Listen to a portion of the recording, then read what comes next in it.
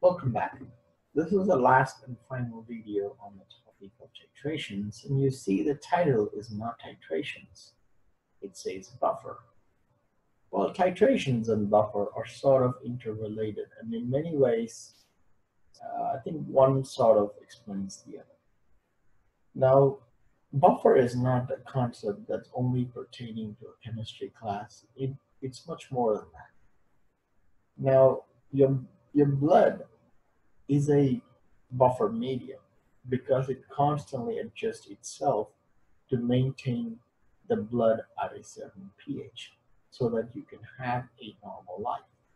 And if you get sick and you go to a hospital and they give you a buffer, well, that buffer has to be at a certain pH to meet the needs.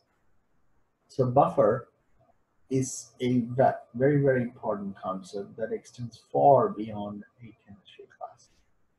Right? Now, how do you make a buffer? Even if you don't sit, well, you don't want to sit and make one, you still want to know how it's made. There are primarily two types of buffer. There's an acid buffer and there's a basic buffer. Okay, hospitals typically carry an acid buffer. Again, I don't know too much about medicine, so I'm not going to comment on the basic buffer part, but from what I do know is they do carry acid buffers a lot for IV reasons.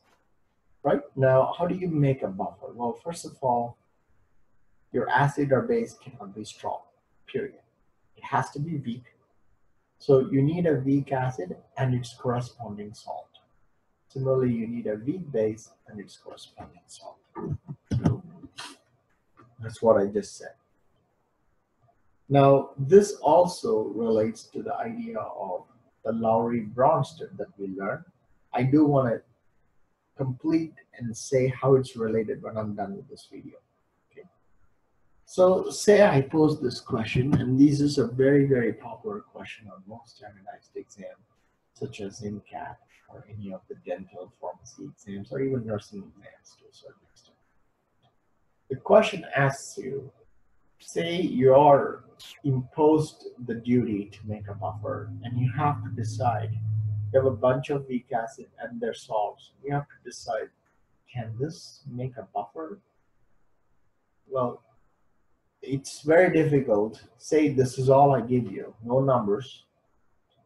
You don't say you don't know the molar mass or any of that. Your your job is to actually first figure out can this combinations make that's a tough question for some people. It's easy probably for a chemist, but it's not so easy for everybody else. But let me share you a very, very simple tip that you can use it instantaneously to decide whether that combination could lead to a potential buffer.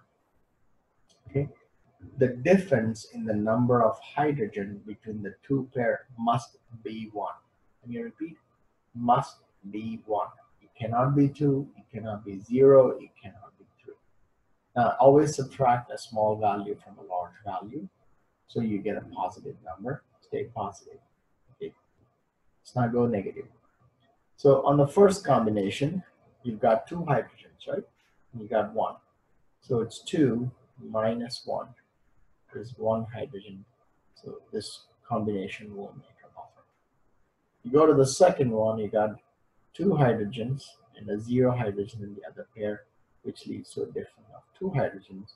This cannot be a buffer combination. Same thing with the third one, you got three hydrogens and zero hydrogens in the other pair, which leads to a difference of three hydrogens this combination also cannot result in anything. The fourth one is, well, we got 3 minus 2, which is 1 hydrogen. Bingo, this combination. And then this combination also is 4 minus 3 is 1 hydrogen. This can result in a buffer as well.